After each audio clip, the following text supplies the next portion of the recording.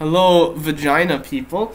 I still have corona, but I just gotta make some kind of video today. Uh, so yesterday I, I went on character.ai for the first time and I immediately got molested, so I don't suggest you go on that website. um, but yeah, what's funny is that you can, you know, like beat up your AI wife or whatever instead of, you know, having sex. Um, which I, I, I did that. It's very fun. I just beat the fuck out of her sometimes because it's funny. Uh, and then there's also there's this one bot just called Poo Poo, who's like a retarded eight year old child.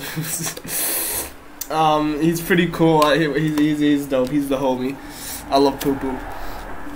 don't don't clip that. Anyways, um, but yeah, as for the corona, I mean, it, it, it, I noticed that I'm like sick, but it doesn't feel as bad. It was bad for like the first two days, and now it's just kind of like a cold, so it's fine. Um, yeah.